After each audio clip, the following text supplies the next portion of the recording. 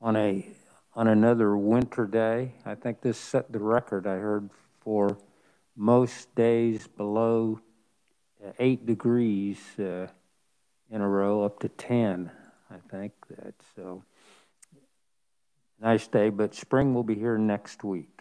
Uh, we're going to start out with the roll, and Rich, if you could take the roll for us, please. Chairman Representative Kelly is present in person. Vice Chair Representative Hoheisel is in person. Repres Ranking Minority Member Representative Xu is present in person. Representative Anderson is present and in person. Representative Baker. Representative Bergkamp is in person present. Representative Day is present in person. Representative Donohoe.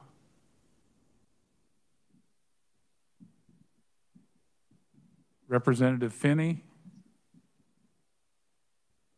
Representative Finney is present and remote. Representative Kessler.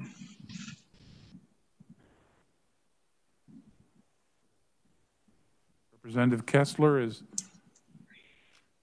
present in person.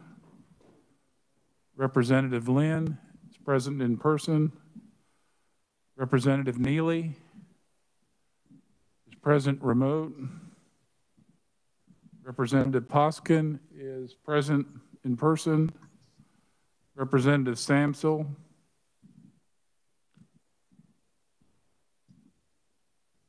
Representative Topliker is present in person. Representative Wasinger is present in person. Representative Weigel is present in person. Thank you, Mr. Chairman. Thank you, Rich. Well, the first thing we've got uh, this morning is uh, final action on House Bill 2237, and this was the bill that we heard uh, as our uh, moving the sunset uh, on the ROZ bill forward two years, uh, and uh, as, an, as a safety measure in case the new ROZ bill uh, doesn't uh, get out this year. I don't want the program to end and have to start all over again. So this was a fairly simple bill, but David, could you give us a refresher kind of on this bill, just the highlights of it? Uh, yes, Mr. Chairman, good morning. Um, 22, House Bill 2237, as the chair indicated, this would extend the uh, ROZ uh, program additional two years uh, through uh, June 30, 2023. Currently, it's scheduled, the, the program and the, and the, is scheduled to end June 30 of 2021, so of this year. Um, this would also then of course, extend the uh, the tax credits that's available under the program through uh, tax uh, through tax year 2023 as well. I stand for any questions. Any questions for David?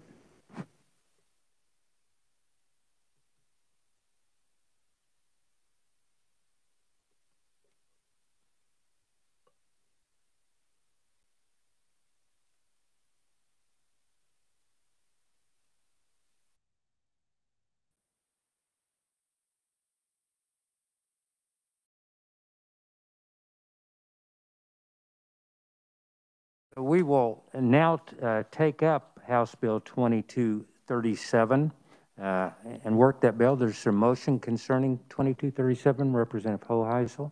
Thank you, Mr. Chair. I move that we pass out HB 2237 favorably. Have a motion, have a second from Representative Xu. Any discussion or uh, amendments? If not, uh, we will, uh, not if you would uh, move your motion. Thank you, Mr. Chair. I close on my motion. All those in favor of extending the sunset for uh, two years on House Bill 2237, please signify by saying aye. Aye. Opposed, nay. The motion passes, and uh, 2237 is uh, passed out favorably. Thanks, committee. Mr. Chair, Yes, if I could uh, have my record, or my vote recorded in the minutes, please. you may, and Representative Weigel would like to have his vote recorded too. Oh, Representative Neely would like to have his recorded. Anyone else? Okay, thank you very much. We will now have uh, three hearings. Uh, These, uh, these bills uh, all came uh, to us by way of uh, Representative Waymaster, and we will go through those. And we have, I just received an email from uh, Representative Waymaster that uh, delays in the Appropriation Committee are going to keep him from being here in person. He did submit testimony, but, so when we get to that, uh, uh, he will have testimony on all three that, to- read through. But uh, we'll open the hearing now on uh, House Bill 2236. And if we could start out on uh, uh, 2236, there's a fiscal note uh, in your packet on this. And uh, then Amelia is going to give us a briefing on this bill. Morning. Good morning, Chairman Kemley. Can you hear me? We can hear you, yes. Thank you. Good morning, Chairman Kelly and members of the committee. Uh, I am Amelia Kovar Donahue, and I am an assistant revisor. House Bill number 2236 would authorize appraisers to exclude the sales comparison approach in mortgage financing appraisals of certain unique residential property in rural counties under certain conditions. Specifically, subsection A of this new section provides that when an appraiser is developing an appraisal of residential real property, which has been identified as unique in style or square footage or both, that's located in a rural county, and the appraisal is for the purpose of a mortgage financing transaction, then the appraiser may perform the appraisal without completing the sales comparison approach. If the approach cannot be developed for a credible opinion of value or indication of value due to a lack of available comparable sales within 30 miles. In such a situation, in the appraisal report, the appraiser shall provide an explanation of the reasons for the exclusion of the sales comparison approach and document their efforts to obtain comparable sales or market data.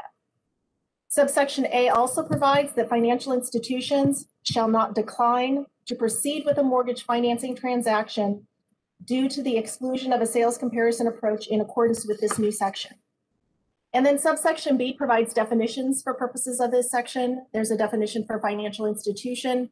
And also rural county is defined as a county with a population of less than 10,000. And the bill would take effect from and after publication in the statute book, and I would be happy to stand for questions.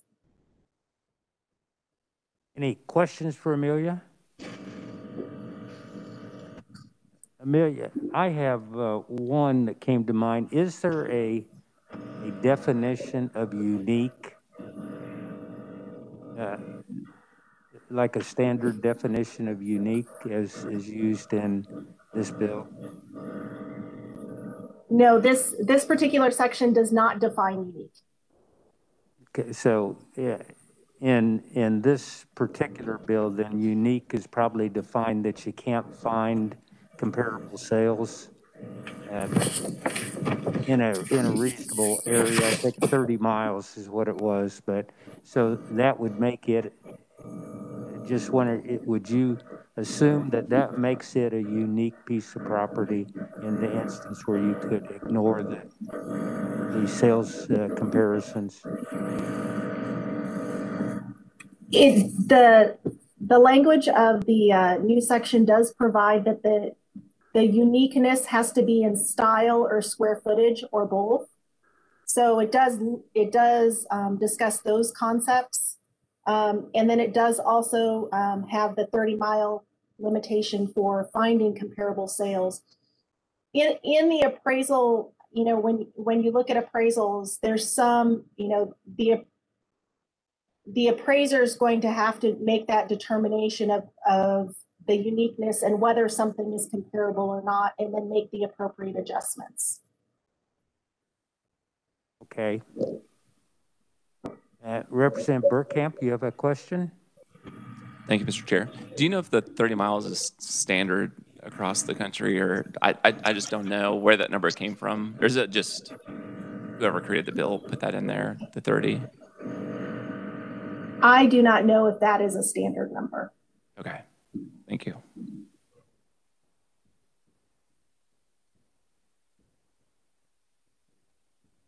Any, uh, any other questions? Yes, Thank you, Chairman. Uh, Can you tell us how many counties would qualify as rural of our 105 counties in Kansas with 10,000 or less? I do not have that number in front of me. I'm not sure if research is there uh, participating today, and they might be able to pull it up faster than I can. I do have access to the um, the Division of Budgets list, but it's not broken down. It's just an alphabetical list of counties in front of me. Um, I'm not sure if research could answer that for you today. research have a, possibly have an answer for that?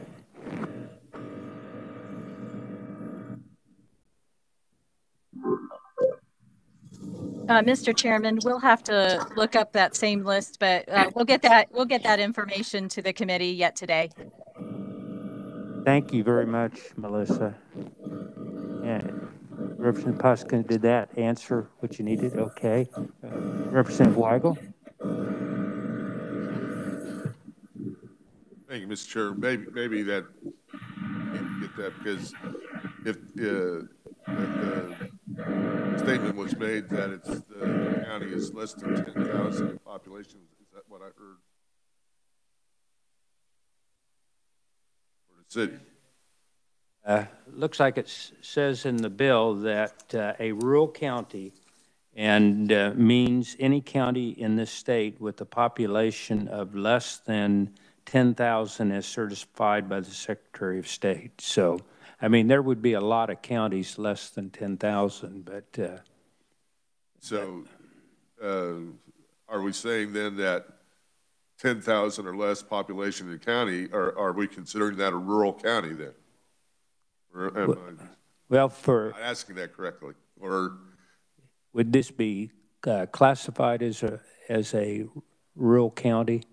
Uh, It, it would, uh, I think. I, there are population levels, and I can't remember exactly what they, uh, what they were, but as I remember the county that I live in, which uh, I would consider uh, more rural, but uh, its population puts it at semi-urban.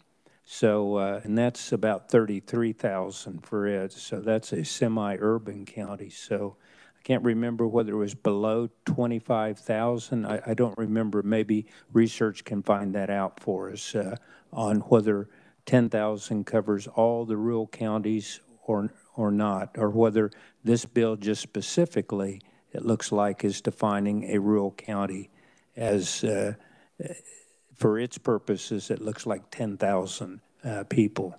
And uh, we'll find out numbers for you and see what, uh, see what they show. But this is as defined by the Secretary of State, um, it looks like. So the other was defined, I think, on the semi-urban that for my county was defined by uh, census numbers, uh, that uh, through a U.S. classification. that, that's what I was asking, if I could follow up on that, uh, because Kansas is broken down, uh, at least by cities, uh, first, second, and third class, and that's primarily designated by uh, the amount of uh, population within the city limits, if I remember correctly. So I was just trying to determine, is there some kind of classification where we're talking rural or uh, semi-rural or semi-urban? Uh, Because I've never heard of that before, so I'd like, I'd like to to get a clarification. Uh, We'll, we'll get some numbers uh, on what this uh, particular bill relates to and what the certification uh, means from the Secretary of State uh, uh, on that. And um, that would be, uh, we'll have that before we'd uh, work the bill. then. Thank you. Thank you, Mr. Chair. Thank you. Any other questions for Amelia or? Thank you, Amelia, very much.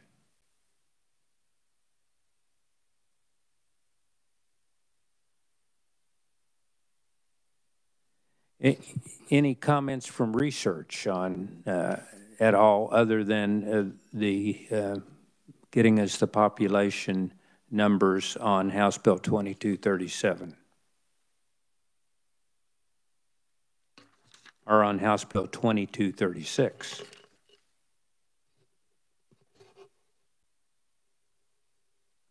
No? Okay. Uh, This will official, officially open the hearing on House Bill 2236, and uh, we will start with the proponents, and uh, I, I have no one down as an oral proponent uh, for this bill.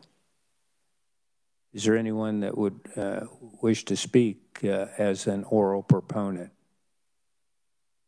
Okay, we do have two written-only proponents, and one of them was uh, Representative Waymaster, who was going to try to be here, but uh, has not been able to because of his committee.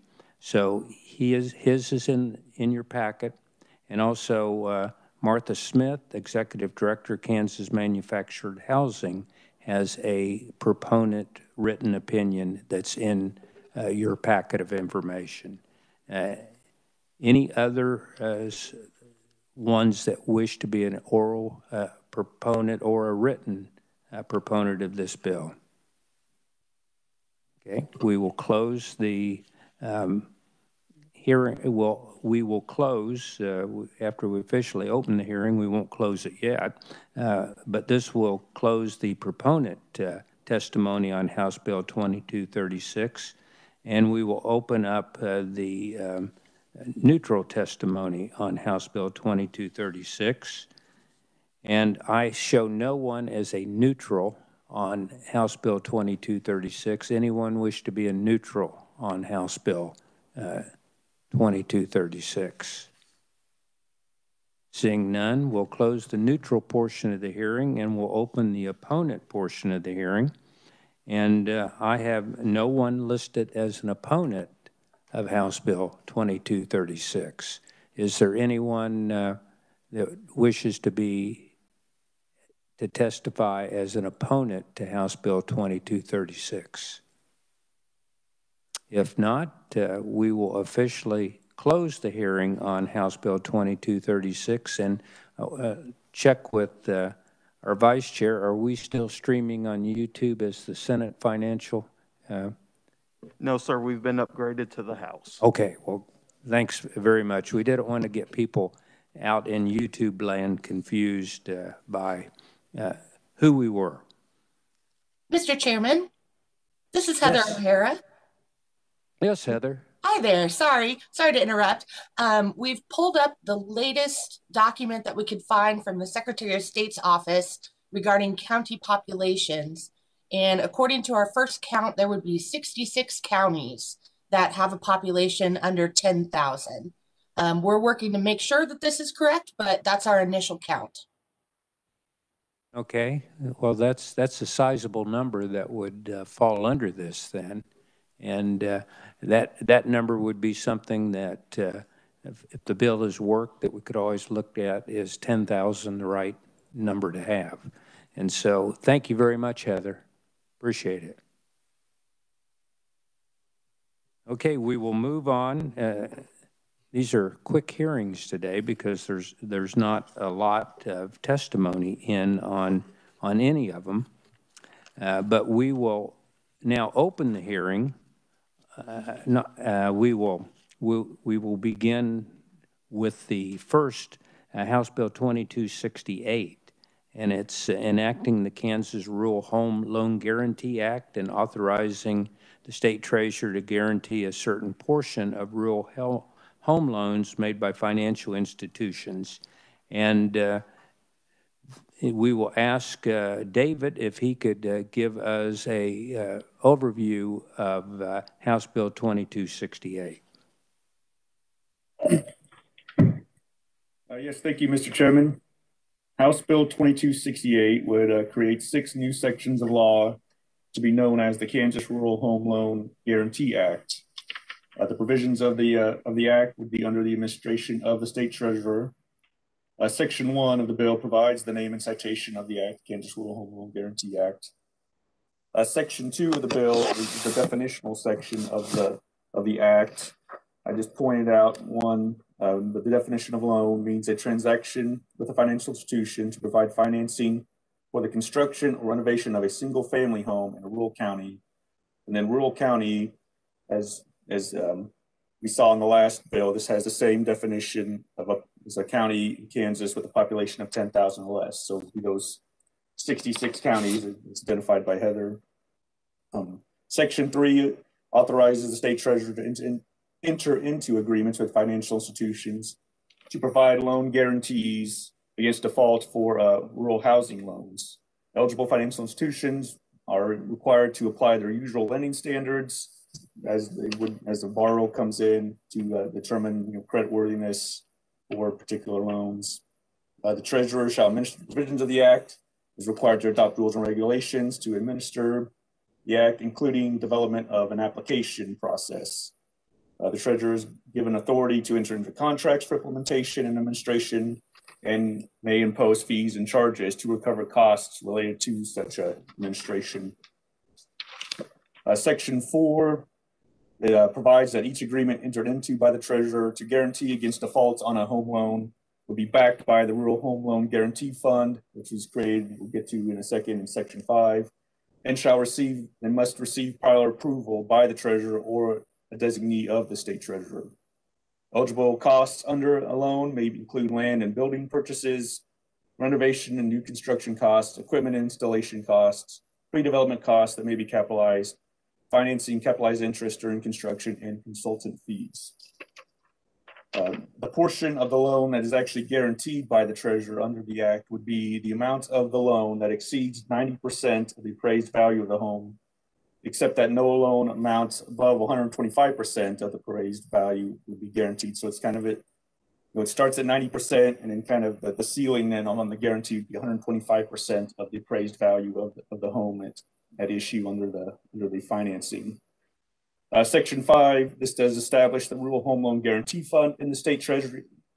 Um, all monies in the fund would be used to provide guarantees against loan risks and to pay administrative costs associated with the act. All fees and charges imposed by the treasurer and any other monies that might be received by the treasurer under the act would be deposited in the fund.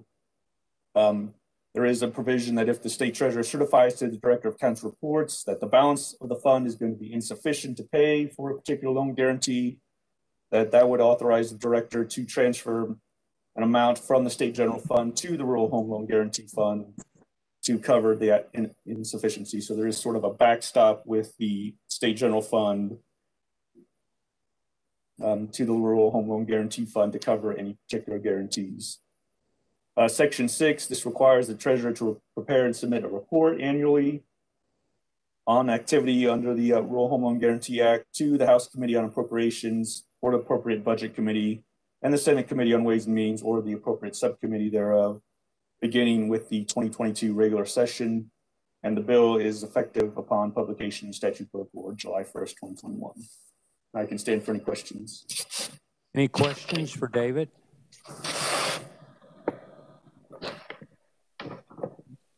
Representative Burkamp. Thank you, Mr. Chair. On the uh, the threshold, the 90% to 125%, is that when the loan is first originated? I assume by the bank.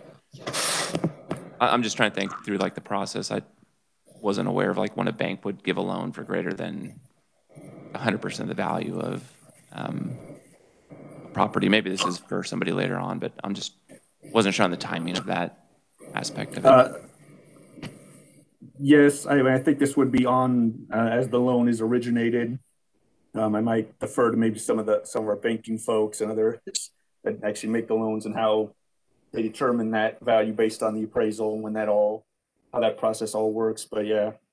I mean, I think the hundred and twenty-five percent cap is just, I mean, I don't know how many times it might actually be a loan amount of that much, but this, this would just be kind of, just kind of a ceiling, just in case there would be particular loan of that, of that much, that it wouldn't all be guaranteed. Thank you. Representative Wasinger? Thank you, Mr. Chair. This might also, since it's for rural areas, it could be an older home or something that has been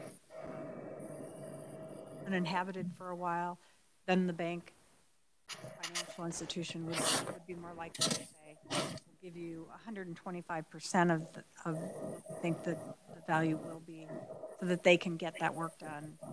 It's just a, it's just a guess, but that might be one of the reasons why they do Mr. Chair. Uh, David, uh, in section five, and you, you may have uh, answered this already, but it says, subject to appropriations.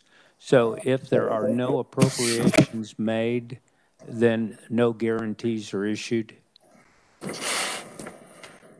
Um, yeah, Mr. Chairman, I, I imagine if there wouldn't be appropriations in, in the fund or there are no other sources of revenue for the fund, um, I, I don't know, I, I, I guess I might defer to the, to the treasurer, but I, I imagine there wouldn't be a lot of guarantees approved by the treasurer since there would not be fund, funds there to, to, to, to make those guarantees, but, um, it wouldn't necess- necessarily, uh, be that if there are other sources of, of revenue, perhaps. And this bill, uh, different from the one that we're going to look at next, I think the one we looked at, are going to look at next had a maximum dollar amount, I think, of 250,000. A- And there's no maximum or, uh, uh, or minimum dollar amount in this uh, residential real estate, is there? Yeah, that's correct. There are, there is no, no maximum on either the amount of the, of, of the loans or an aggregate out of, out of the fund. That's correct. It's a little bit Yeah. different than the next bill. Yeah, so this one could go above the $10 million that's in, in the next bill, uh, if there were that many requests and, and the money available to guarantee them. Correct. Okay. Any other questions for David? Thank you, David. Any uh, comments uh, on this bill from our uh, research staff? Uh, Mr. Chairman, if I might review a- y- your question that you just asked to David is contemplated in the fiscal note. And so the fiscal note does speak to the costs that would be incurred by the Office of the of the State Treasurer and the need to hire two FTE positions at a cost of one hundred and forty-nine thousand five hundred dollars from the State General Fund in fiscal year twenty-two. Um, but the point is made in the fiscal note that the agency would need state general fund until there is enough money in the newly created fund to finance the additional positions. So it does speak to your question regarding um, subject to appropriations and, and how that fund would secure money. So in, in this, in this instance, if no money was appropriated, uh, then uh, no guarantees and there wouldn't be the, uh, the need uh, for the staff uh, right away until there was money appropriated. Yes, that would be correct. And the Department of Revenue also opined on the fiscal note to say if there wasn't sufficient funds in the guarantee fund to pay for a loan guarantee, the bill would require a transfer from the state general fund to the fund to cover the shortfall, but they simply can't estimate what that fiscal effect would be without knowing the, the loans that might be subject to this program. Okay. Any questions for Melissa? Thank you, Melissa. Well, this will uh, officially open the hearing on House Bill um, 2268. And uh, we have listed as proponents, uh, first one, Stephanie Mulholland, Heartland Credit Union Association.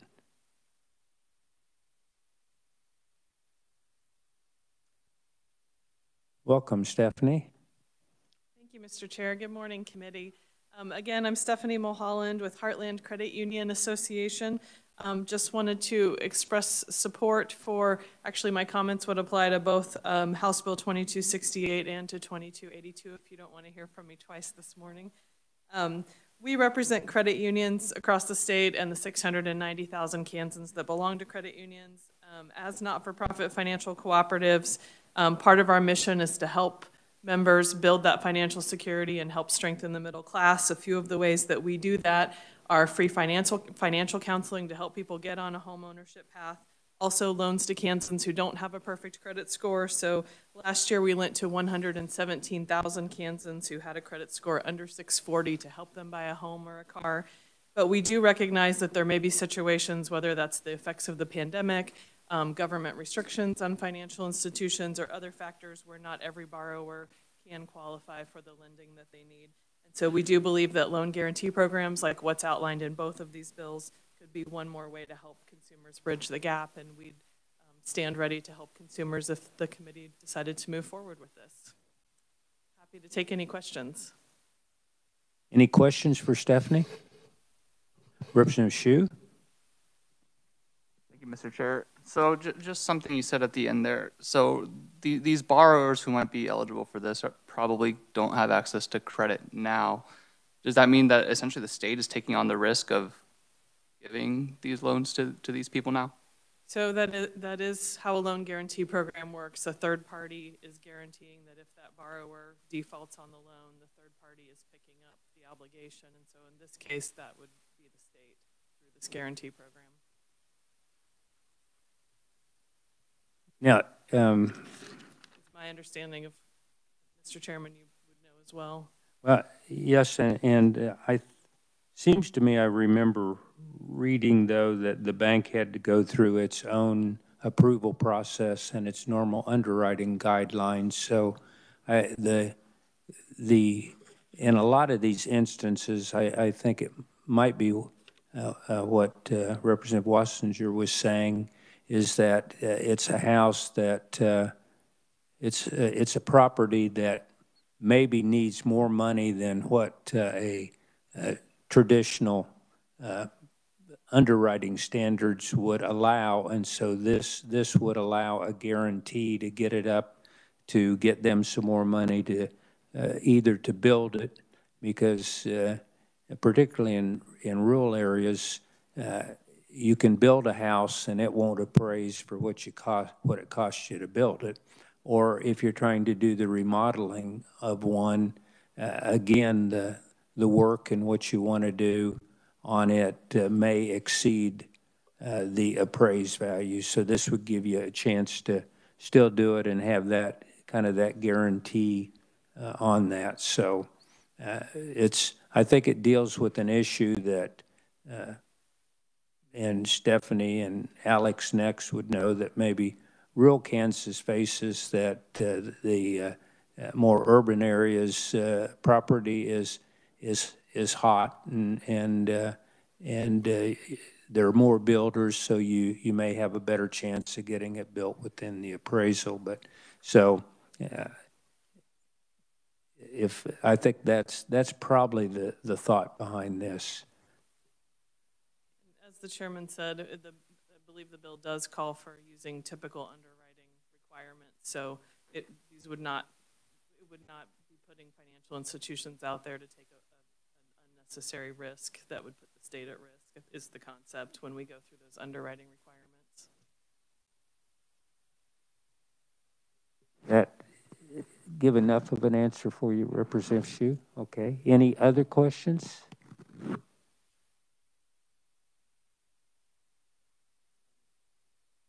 Representative Day, you have a question? Yes, thank you, Mr. Chairman. Um, first of all, if, if uh, the speaker could speak like closer to the microphone in that room, it would really help those of us who are in other rooms or online to be able to hear her better.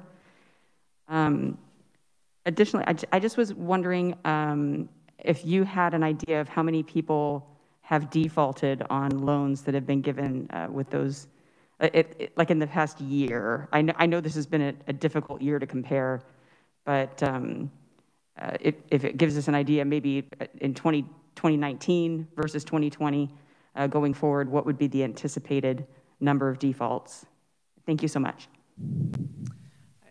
I don't have that number in front of me. In terms of defaults on loan guarantee programs, that might be a difficult number to find. There are some guarantee programs out there, um, but I can get you the number on, on defaults in general on, on home loans or other markets.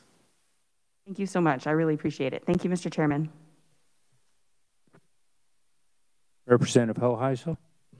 Thank you, Mr. Chair, and thank you, Stephanie, for being here today. And it's great to see you guys and the banks testifying in favor of the same bill. We, we do appreciate that. Uh, my question is on the, the second bill, which I believe you're just testifying on both of them now. Um, the loan may be guaranteed up to 80% of the value of the loan on the second one for ag loans. Um, why are we doing that 80% on that? Is that just fluctuation on the assets or? So I, I can't answer that. We weren't involved in drafting the bill, so I'd have to defer to, to whoever had the bill drafted. Okay. Thank you. Thank you, Mr. Chair. And we, we will try to get the answer for uh, you for that because there's only one person to track down uh, that uh, uh had this bill, so we should be able to find out, Representative Hoheisel.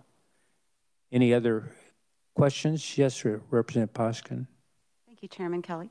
Um, in the case of borrower default, then does the state become the owner of this individual home? I'm afraid I don't have those details either. That may be something we could refer to the reviser or to Representative White. Uh, Mr. Chairman?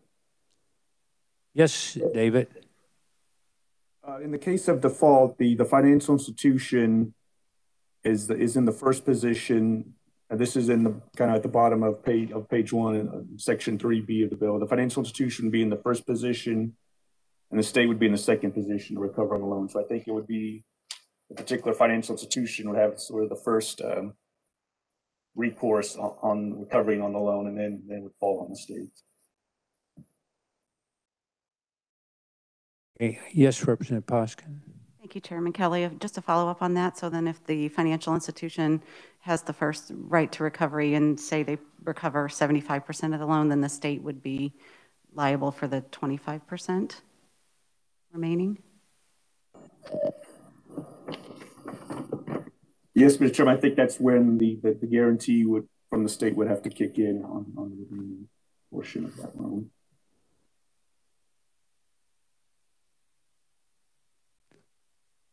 Any other questions? Representative Finney?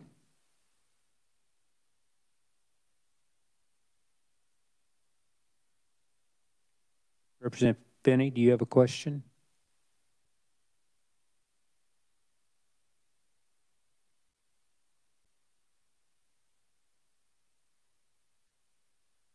Maybe uh, the question was answered. Do you see her hand still up, Representative Hoheisel? Representative Finney, do you have a question? Can you hear me?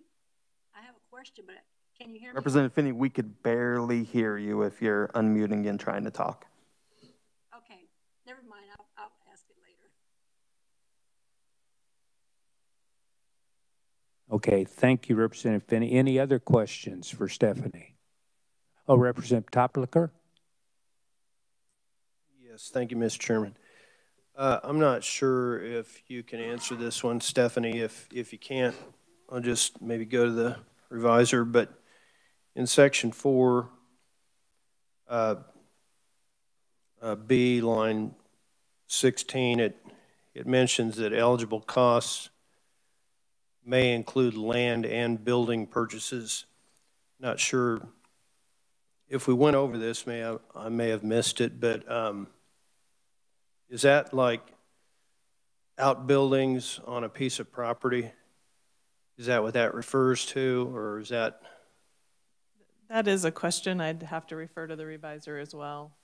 And, uh, and if it is, is it like someone could, could, could put, uh, could renovate a barn under this and, and uh, not do much to a house just uh, what do you what do you say to that, Mr. Reviser?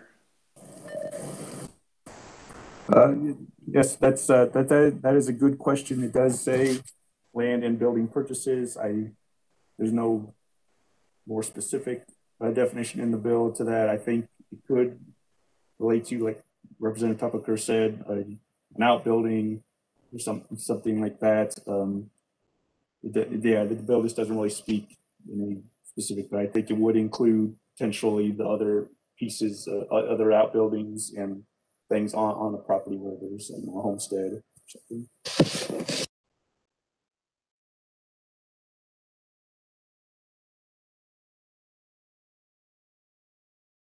That will be, as Representative Toplikar, that'll be some issues that we'll want to, uh, if we work the bill, that we'll want to work our way through uh, some of these. So all good questions that you're, you're asking, and, and uh, we will, we will definitely want to find those out. You- uh, We have uh, Representative Finney's uh, question text in, and Representative Xu is going to ask it. Thank you, Mr. Chair. Representative Finney's question is, are there any similar home buyer programs for people with a 640 credit score that we have outside of this proposed bill? I believe there are several homebuyer programs out there. I don't have a list in front of me, but I'm happy to get that together for you. I know the USDA does some loans. Um, I believe the FDIC does. There are some other options out there. Yeah, and the, uh, I, th- I think there would be the bill that we just uh, passed last week uh, would have an option uh, to it for, uh, for the financing of rural real estate. So, and, and that was, that was, I think, 2,500 uh, people and above. So there, there was an option there, and there, there's some other ones that could be used. Um, but uh, this, this is one that I think was uh, specific. It, it appears maybe was to uh, deal with uh, some of the situations where the uh, appraisals don't come up to the value of what's needed to do the property. So, and in this case, uh, it appears, and we'll want to look at that too, about the, the liability of the state, what it could potentially be if, if this really took off.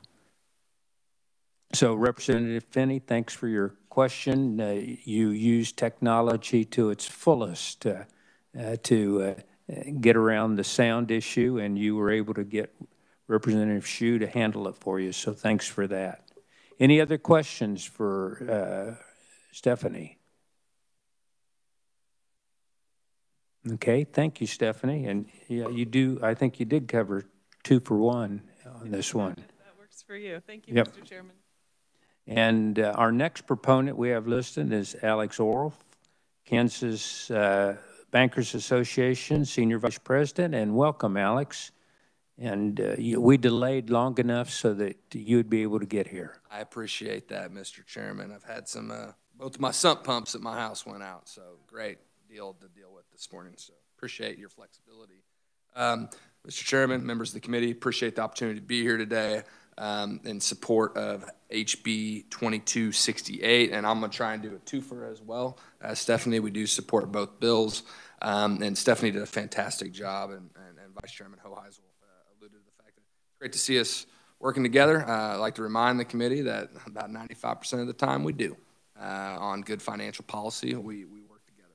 Um, we see this as just another tool in the toolbox to trying to help our, our communities and the customers we serve.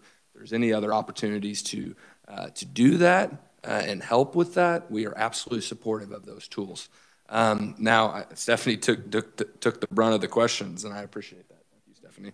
Uh, but no, uh, I appreciate Chairman's Way, uh, Chairman Waymaster uh, introducing this bill, recognizing there is a housing problem in our state, without a doubt, not just rural, but also urban, um, that we need to figure out on how to, how to, um, to, to look at that and, and, and, and fix it, and, or at least trying to attract and retain folks uh, for those housing needs. Um, I'll tell you from the KBA's perspective, we have formed our own internal task force on housing uh, with bankers across the state, urban and rural, from uh, many different uh, walks of life, and we are looking at this internally from our association as well.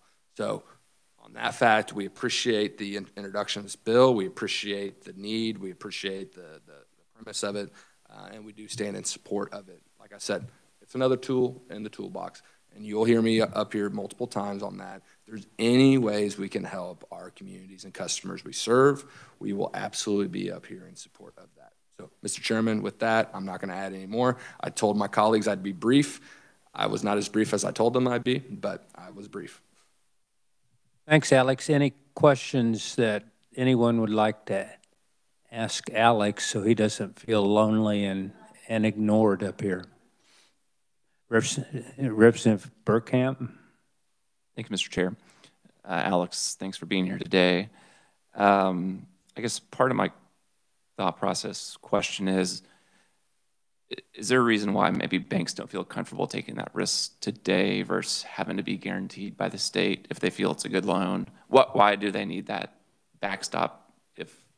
Um, a lot of it is regulatory oversight, Representative. Um, I mean, we are not uh, uh, given the ability to loan out those type of loans for folks that we 100% finance it. We're, we're just not given that uh, so this is just, like I said, another tool in the toolbox to help folks that, one, cannot get traditional credit, or two, do not necessarily have the best credit. But bottom line, I can speak for bankers across the state. If you are credit worthy, you have the ability to, uh, to buy a home, we will absolutely loan you out the money without a doubt. So this is just, like I said, another tool to, uh, to help our folks serve their customers. Yep, go ahead, Representative Burkamp. Uh, one last quick one. So on the, um, I guess, investment property first, typical, um, if you're a primary resident of the house, you'll typically, if you do an investment property, do you see them often take loans in excess of like the appraised value, or is that, and again, maybe you're not the best position, but I'm just curious, like if, I'm just thinking through this bill and, you know, if you're going to have more people who are investors versus primary home people taking advantage of you know, the increased loan capability, maybe what the banker's point of view would be on lending to investment people versus primary care people. Once again, Representative Burkamp, um, to, to, answer your question specifically, I, I, I, do not have that ability, I'll be honest with you, without checking with significant experts in the area. Um, but bottom line, it comes down to just how can we help them? And, and, and I mean, we do have regulatory oversight, same with the credit unions, on the ability to finance loans. I mean, it's not, a, we'd love to help out anybody we possibly can, but there is a regulatory oversight. So on that, uh, it would it would be subject to that as well. Thank you. Weigel. Thank you, Mr. Chair. Thank you, Alex, for being here. Uh,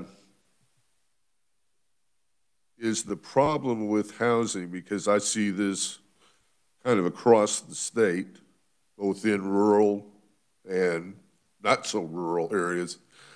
Uh, and I'm talking about uh, medium, uh, a starter, what we used to call a starter house for a family. They get married, they have a kid, and they want to buy their first house. Is the problem somewhere in the, like what you mentioned, regulatory? Or are there just not enough banks or, or financial institutions that are making home loans? Or is there something out there prohibiting, because what, what I hear a lot is that there, there aren't enough homes to be purchased that, that are people are looking for. So uh, I, I kind of like to nail that down so we can fix that problem, and then we can go on and, and then we can, you know, uh, finance those people that want to buy a house. Um, uh, Representative, I appreciate that question uh, because I think that is a way bigger discussion than just this bill. Like I mentioned, the KBA has formed our own task force to look at something like this uh, and, and to figure out how to uh, figure out our housing problem. I think it's it's it's multi. I think there's mul- multiple problems. Uh, you know, we have the first-time home buyer savings account legislation that you all passed out last week. Uh, that is going to be a tool to help retain our next generation of folks to buy homes, live in Kansas, and work in Kansas and contribute back to the economy. So we need to implement tools like that to keep our folks here local because we do have an outmigration problem. That is absolutely, it's factual. I'm not, I mean, our, our agencies report on that. So, one, we don't have enough tools to help folks buy homes. Secondly, we do have a housing shortage in communities. I'm going to use Coffeyville, Kansas. Uh, the chairman of my, uh, my, or my next chairman of my board uh, is from Coffeyville, Kansas. Um, and he mentions that everybody that works in Coffeyville lives in Bartlesville, Oklahoma. They all live in Oklahoma and they commute to Coffeyville because there's not affordable housing in Kansas or not necessarily affordable, but livable uh, houses that they want to in Kansas as well. So Representative, this is a much bigger discussion that I believe the legislature is going to be dealing with for the next couple of years. I know the commerce committees are looking at this as well um, because we have to bring all minds together. This is not a partisan thing. This is not a credit union thing uh, whatsoever. Um, this is something we need to figure out and we need to nail down. And I, I pledge to this committee that if there's anything that we can help and, and provide more technical support on, we will absolutely be here. And so I, I know I didn't answer your question uh, directly, Representative, but I know um, that this committee is going to deal with that and the legislature is going to deal with that. And we look forward in helping with those solutions because it is a big problem. Thank you. Thank you, Mr. Chairman. Thank you, Representative Toplikar.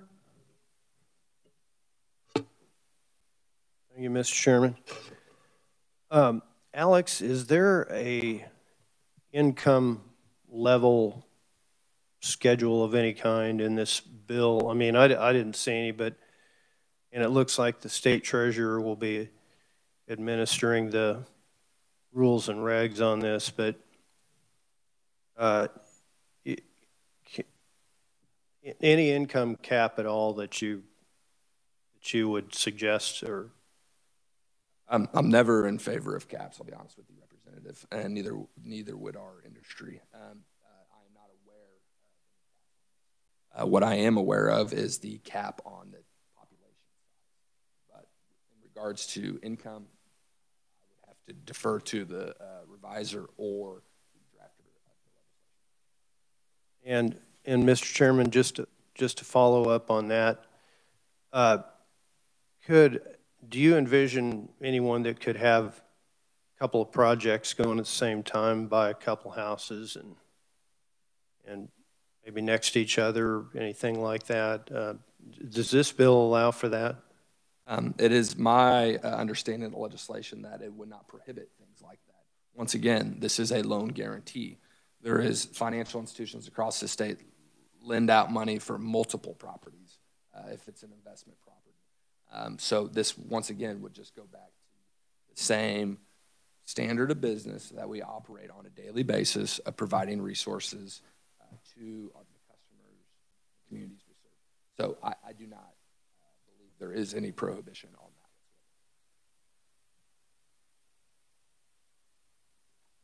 Representative Hoheisel. Thank you, Mr. Chair, and thank you, Alex, for being here today. And again, same to you. It's great to see you guys in the credit unions back on the same team. Um, my, I, I have two questions, if I may, Mr. Chair. Uh, the first one is the same question I had for Stephanie on the ag part. Is the 80% cap on that because of fluctuation and, and ag assets? Is that why we're capping that at 80% of the loan guarantee? I mean, um, typically, I mean, there was an amendment made to SB 15 last week or two weeks ago on the Senate committee that mirrored the farm credits regulations regarding not being able to make these tax exempt loans on loan to value of 85% more than 85% of the value of the property.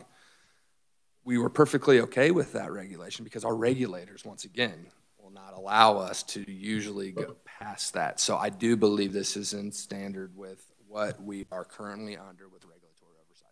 Okay, thank you for that. And my second question, do you know of any other states that have a, a loan guarantee administered through the state, um, especially targeted rural development? Um, Mr. Vice Chairman, I do not. okay. Okay. But I can do some research on that and get back to the committee. Okay. Thank you. Thank you, Mr. Chair. Representative Donohoe. Thank you, Mr. Chairman. Um, uh, our, uh, is, uh, and I'm kind of following up on that question. Um, does Oklahoma offer anything in the way of incentive and I would anticipate if Kansas does something that Oklahoma will react uh, and offer something. And um, obviously, you have to have that in mind as you're thinking about where are we going to end up with this thing and what are we willing to do? Uh, to answer your question regarding Oklahoma having a similar program, uh, I do not have that answer, but I will get back to you and we'll check in on that. And because, I mean, you, you're exactly right, Representative Donnie. If, if they have something, we need to be looking at implementing something.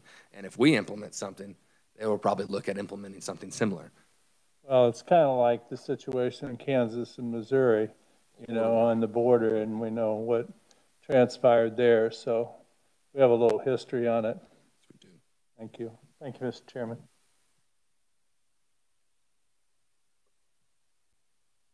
Representative Xu? Thank you, Mr. Chair. Thanks, Alex, a lot for being here. I know it's probably been a tough morning. Um, this is less a question and more just me gonna talk at you about my concerns and then hope and leave my mind open to be assuaged about it. So, um, for for me, I agree with Representative Weigel. The, the base issue is hou- housing shortage, right? Um, I- in my opinion, or just in my estimation, the issue is not really access to capital, as we've talked about before. There are other loans and interest rates are low. And so essentially, in the end, the state takes on risk and has to get into kind of the loan evaluation game, which as far as I'm aware, we don't do a ton of. And so I guess I'm just leaving my mind open to be how, how th- this tool becomes necessary. Uh, Representative, uh, I, I concur with your. I do. Um, I mean, there is, uh, there is concerns, of course. Um, but once again, it comes back to, are there enough tools in the toolbox to help our, oh, Alex, you might Sorry, a sorry. Um, yeah, Re- uh, Representative Xu, um, we need to figure out multiple ways to, there, there's not a silver bullet for this issue. And this is, uh, hopefully, I, I, be- I believe, a start to this conversation. Uh, and, um, like I said earlier, um, as an industry, we have formed our own task force and we have met once, uh, in the last month, but we are going to continually start meeting and, and, and to address this because I don't believe it's just a state issue, it's a federal issue too. Representative Burkamp? Thank you, Mr. Chair. Last question, I promise, for me. Uh, Do we have a rough estimate of how many loans would qualify for this today, or any kind of ballpark? I'd have to defer to the reviser or the drafter of the legislation on that one, Representative, to be honest with you. I'm just curious from it, and I know we've kind of touched on it, but just before we proceed, it'd just be nice to know kind of number-wise what we're, we're looking at, so. I know HB 2268 is for populations of 10,000 or less. I do understand that. Um, The other legislation, which I believe you're going to hear next, and like I said with Stephanie, we're doing a twofer here, um, but um, um, I I do not. But, or I would have to re- refer to uh, uh, David or or, uh, or Chairman Waymaster on this.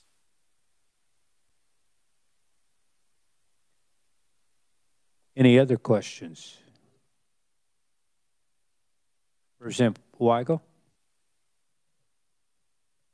Thank you again. Uh, just a quick, I was just thinking some, uh, f- I'm sure you're familiar with, uh, uh, GI loans or guaranteed loans to the federal government if they're, uh, service. Do you know what the cap is on that for a, uh, uh, I, I can remember, and I'm I'm gonna date myself, it's almost fifty years since I've got out. And they gave it, don't laugh, I'm still here. Really? Uh, in the packet they gave me when I rotated out of, of the Army, they gave me like a little green certificate, if I remember, it had, uh, you qualify for, and back then, I think it was like twelve thousand five hundred dollars that they would like guarantee, uh, towards the purchase of a house or a farm. Uh, Do they, do you know if they still do that? I'm sure they do, and do you know what the, the rate is or what the cap is on that? I wish, um, you know, uh, when I walk around this building, uh, well, Representative, first and foremost, thank you for your service. I do appreciate that. Um, but I do not have the answer to that, I'll be honest. Um, and I wish I had Kelly with me, uh, our uh, other part of our GR team. She is a uh, uh, somebody that used the GI Bill uh, for education as well. And a member of her, her father was a, you know, a pilot with the, with the Marine Corps. So uh, she'd be actually the person that would actually know that answer. Uh, and I will check with her and get back to you absolutely on that. Appreciate that. Thank you, Mr. Chairman. Any other questions?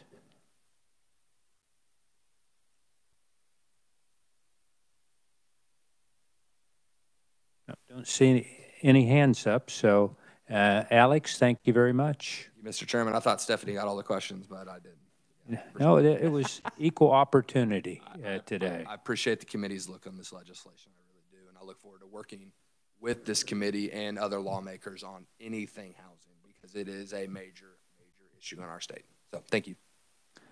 Thanks, Alex. And uh, those are the only two oral proponents I have. Anyone else wish to speak as an oral proponent? If not, uh, call the committee's attention to, we have two written proponents. One is Representative Troy Waymaster, uh, District 109, and the other is Mark Tomb, Vice President of Governmental Affairs, Kansas Association of Realtors. And uh, so read through their um, uh, his their written uh, proponent testimony. Yes, Representative Toplikar. Uh, Mr. Chairman, uh, I didn't want to interrupt you, but I did have one last question. For Alex? Uh, for you or anybody. Uh, the question is uh, eligibility to receive a loan. Do you have to be a resident of Kansas?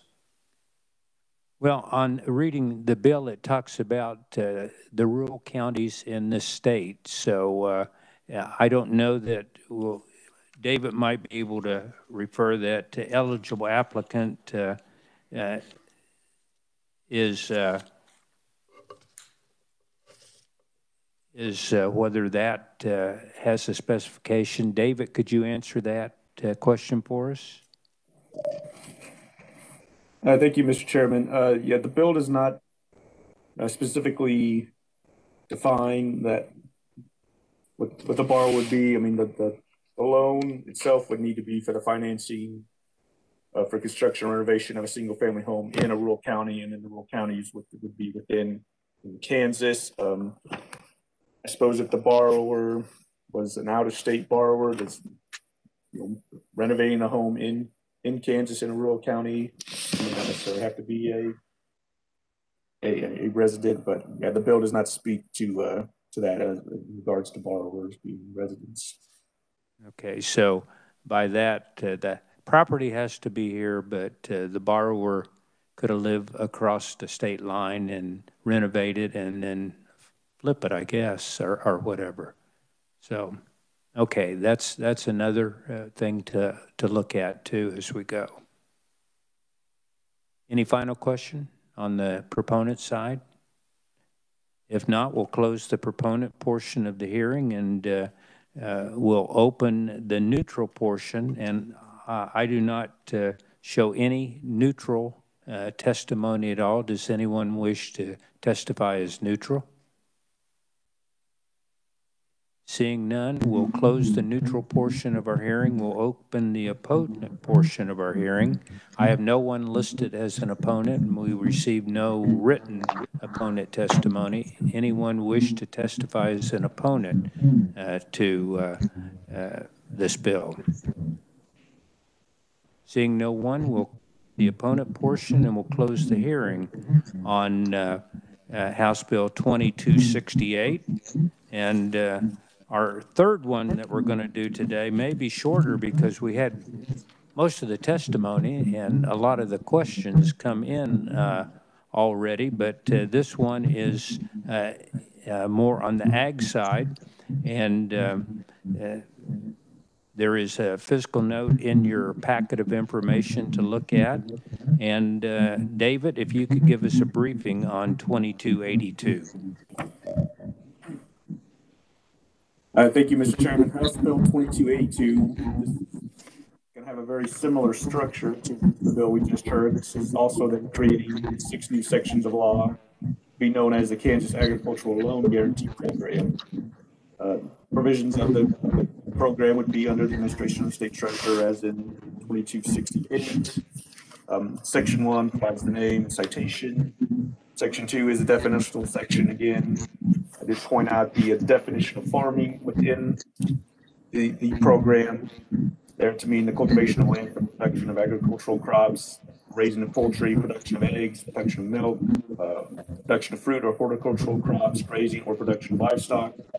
Uh, farming is not, does not include production of timber, forest products, nursery products, for sod, and does not include a contract to provide spraying, harvesting, or other farm services. This is a definition that is currently in uh, KSA 175903 in the uh, agricultural corporations uh, statutes. That's kind of where this definition of farming came from.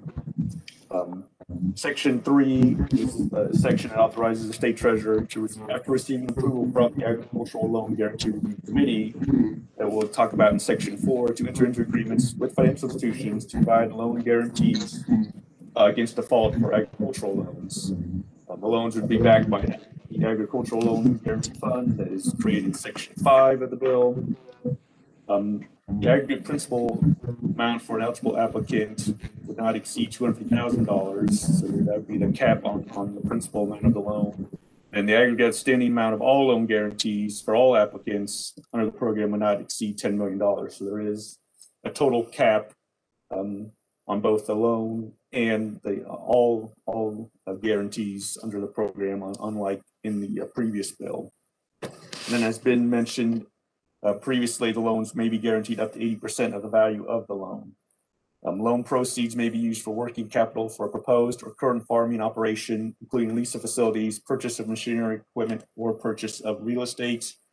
Those are the um, eligible expenses for the loan proceeds under the program. Um, if those proceeds are not used for those purposes, the loan guaranteed under the program could be voidable by the state treasurer uh, if, if it's those for their purposes. Um, the treasurer is again required to administer the provisions of the program and adopt those regulations, including that application process for the program. Um, and again, can enter into contracts and impose fees and charges uh, relating to the program. Uh, section four, this, this is a little bit different than in the last bill, because this actually does establish an agricultural loan guarantee review committee that is located within the office of the treasurer. Uh, the committee would be five voting members appointed by the treasurer or, and the state treasurer or the treasurer's designee would serve as a non-voting chairperson of the committee. Uh, the members, uh, those voting members would then annually elect the vice chair. Um, the committee has three kind of major functions. It has to review all- all applications for loan guarantees under the program and then would actually have approved the applications if it's deemed to represent a reasonable risk and have sufficient likelihood of repayment and then would also provide advice to the state treasurer on matters regarding administration of the program.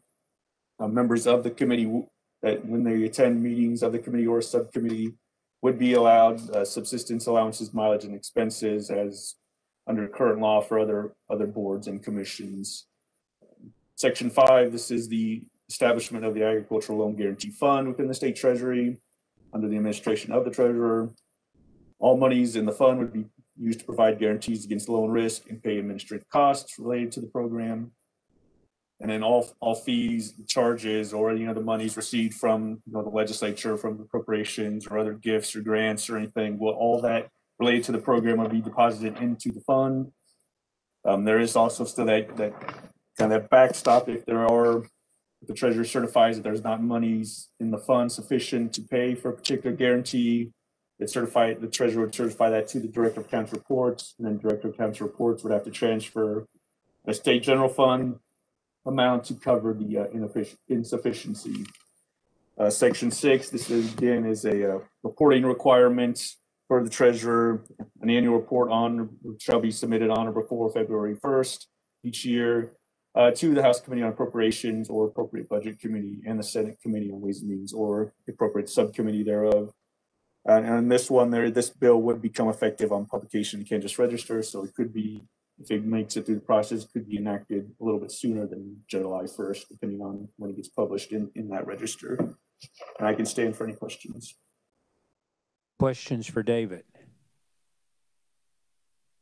So, uh, David, just to be clear, uh, uh, just like the previous bill, the the property or the land or what's being uh, borrowed for is in Kansas, but uh, the borrower as eligible does not, by the way it's written, have to be a Kansas resident, just like the previous one.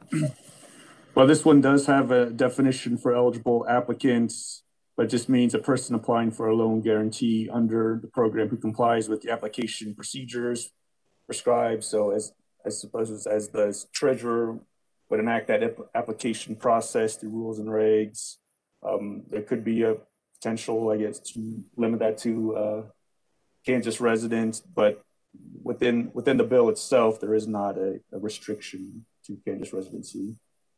Okay. Any other any questions for David? Otherwise, if not, uh, thank you, David, and uh, just. Uh, so I notice uh, on our stream, I see uh, that uh, State Treasurer Lynn Rogers has joined us, and so would like to welcome him. And maybe after we get through our testimony here, if you have any comments that you would like to make on the two bills that uh, you would be involved in the guarantee portion, uh, we'd appreciate it. And understand if you don't want to, or uh, or if you do, we'd, we'd appreciate that. So. Uh, research, uh, any comments on uh, this particular bill, 2282, that you would want to pass on? Mr. Chairman, the fiscal note is similar to the prior fiscal note regarding that there is, uh, the program would need to be funded by an appropriation of the legislature. And as David reviewed in section five, if the balance in that guarantee fund is insufficient to pay an amount, um, for the loan guarantee, then the bill would allow for the transfer to make the, from the state general fund to make it solvent. There are similar program costs that were provided by the, the Office of the State Treasurer um, to increase expenditures by $149,500 in fiscal year 22. The agency does request that that would, uh, those funds for, would come from the state general fund. It would need at least one new FTE position and may also need to hire a credit analyst, um, depending on how many applications are received. Um, the fiscal note continues to say that over time, the program is intended to become self-supporting by assessing fees, but the agency does not have an estimate when this program would become self-sustaining. Thank you. Any questions for Melissa? Thank you, Melissa. Well, this, uh, we will now open the hearing on House Bill 2282. And uh, for the proponent section, we have heard both of them. Uh, our oral proponents, Stephanie Mulholland, uh, Heartland Credit Union, and Alex Orel, uh, Kansas Bankers. Uh, any other comments that you, you feel that you've covered everything for it. Okay, so our we did get uh, two for one testimony there. Uh, that's the only uh, oral proponents that I showed. Anyone wish to testify as an oral proponent for House Bill 2282? If not, I'll call your attention to written testimony uh, provided by Representative Waymaster and then John Donnelly, Kansas Farm Bureau. We have uh, proponent testimony in your packet, so uh, please uh reference that. Uh, any, any other proponents for the bill that wish to testify? If not, we'll close the proponent portion of our hearing. We'll open up the neutral portion. I show no oral or written neutral appoint, uh, witnesses. Does anyone wish to testify as neutral on House Bill 2282? If not, that will close the neutral portion. We'll open up the opponent portion, and I show no oral or written opponents. Anyone wish to testify as an opponent to uh, House Bill 2282? If not, uh, this might be an appropriate time to ask our state treasurer uh, uh, if he would like to make any comments on uh, both the bills that we dealt with today that involve uh, his agency, 2268 on the residential side and 2282 on the ag side. And if you do, Secretary, would appreciate your comments. Great. Thank you, uh, Chair Kelly. I was not planning to make comments, and so these are just going to be off the cuff. Uh, but uh, I do think I, I, just want to make sure that I made myself available to committee members for any questions. Um, you know, both of these bills uh, transfer credit risk from a financial institution to the state of Kansas. Uh, that's the, the con. Um, the pro of that is it could be loans uh, that have great potential, um, and the banker or the financial institution just can't make uh, their guidelines uh, make it fit. Um, credit worthiness, uh, credit an- analyzation uh, is not something our office does. So that's why we suggested in our fiscal note that we would need a credit officer and one or two analysts, depending on if one or both of these uh, are approved. Um, we have looked around, uh, we did a bunch of research. Uh, there are a couple states that we are aware of. Uh, California does a small business uh, guarantee. We have not been able to obtain information on that. And we have found one other state that we think that has done some guarantees on the state treasurer's office. We're still trying to obtain that information as well. Um, one of the questions that came up, uh, you know, and I think the question that this committee has to decide is, you know, do you use, do you allow investors, do you allow out-of-state people?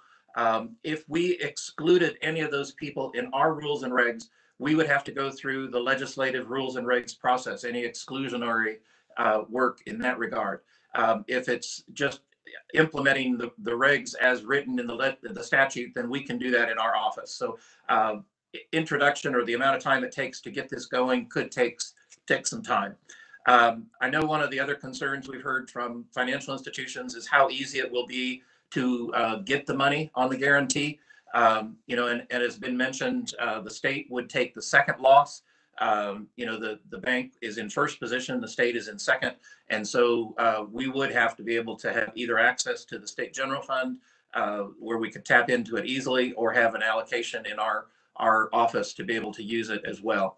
Um, you know, we're not talking if it's a $10 million fund at 250,000, we're talking about 40 uh, people, uh, 40 loans. If we're looking at, at uh, the real estate side, it technically, if they were million dollar homes and it was a $10 million fund, there would only be 10 of those. So there's, again, no upper limit that we have to look at. From my experience as Lieutenant Governor, when we traveled for the Office of Rural Prosperity, uh, you hit it on the head in terms of housing stock. It's not available. Uh, and in many cases, they don't have builders and developers that will build in these smaller places. And oftentimes, if you put in $200,000 into a house, um, it'll only appraise out at about about 150,000. So I think that's one of the unique things of 2268 that um, that 90% to 125% guarantee could have some merit uh, down the road. Um, but I'm anxious to see the, the Kansas Housing uh, Resources Corporation is doing a housing study, the first time in uh, about 25 years. And I know this will be a topic that they'll bring up of how do we get rural rural housing. So um, so I think there'll be some additional work there as well. So um, those kind of conclude my comments. I'd be open to any questions that any committee person uh, has. Uh, Secretary Roger and Representative Lynn, you have a question? I do. Thank you, Mr. Chair. Um, this might be more for the reviser. I'm just wondering if we are looking or considering any sunsets on these, given that the state would be in the position to recover on these loans. We, I, as I see the bills, there would there is no sunset. You you could add that, uh, but that would have to be something, or even a review if you wanted to do that. Thank you, Mr. Chair. I I think we need to evaluate their effectiveness, especially if it does become uh, does provide a cost to the state. Any other questions for the secretary?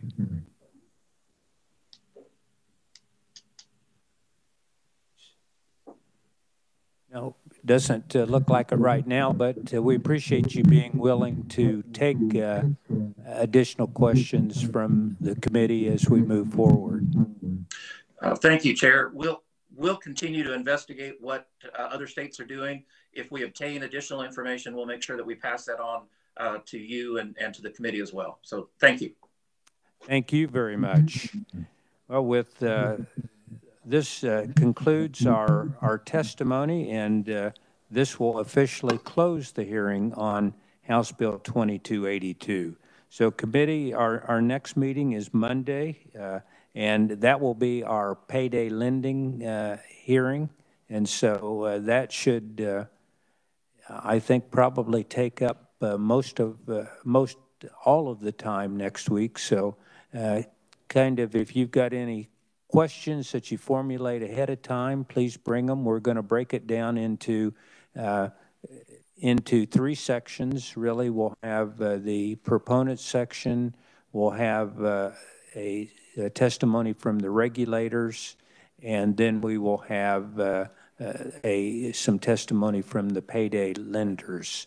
And so we'll break it down. There will be limited number of oral proponents, so we'll have plenty of time for, for questions, and uh, uh, we'll have a number of written proponents and opponents and neutrals, whatever, uh, that uh, we'll have available for you to look through too. But, so that will be Monday, and then after Monday, uh, we'll have one more meeting in this first part of the session, so it's going rapidly, and we'll have a few things uh, that could come up in that last, uh, that last meeting. So thanks very much for today, and we will see you uh, Monday, hopefully with 50 degrees, uh, all the snow melted off the ground, and, uh, and the first flowers of spring uh, sprouting up.